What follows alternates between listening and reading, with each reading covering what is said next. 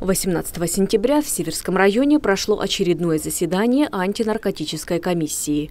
За 8 месяцев 2023 года зарегистрировали 37 преступлений, связанных с незаконным оборотом наркотических веществ. Обсудили проведенные мероприятия по выявлению и уничтожению очагов дикорастущих наркосодержащих растений, а также по проверке аптек на предмет продажи товаров, свободная реализация которых запрещена или ограничена. Эти меры профилактики продолжат проводить и дальше. Сотрудники отдела МВД совместно с районным казачьим обществом проведут ряд рейдов по местам концентрации молодежи с целью выявить употребляющих запрещенные вещества.